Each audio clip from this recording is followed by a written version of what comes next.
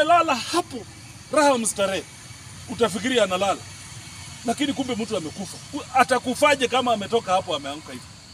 Sasa sisi tunajua hii maneno, serikali lazima iingilie, tujue ukweli because vifo vingi vime, vimefanyika, alafu wanatuambia tu suicide. Suicide. Suicide has become the shortcut serikali inatumia kuua watu, ama watuambie ni nani ameua Kupenda, ama tutasema serikali ndiye imeua because they are not telling us.